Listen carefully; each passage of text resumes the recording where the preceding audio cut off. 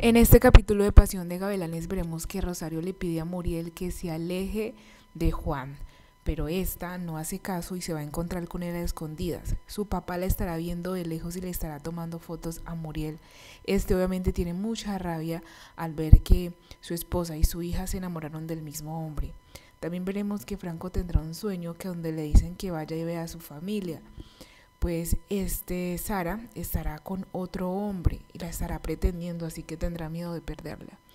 Y Oscar está muy preocupado por su hijo, Duan, pues ese está muy delicado de salud y él se siente muy arrepentido de haberlo escondido y rechazado por tanto tiempo.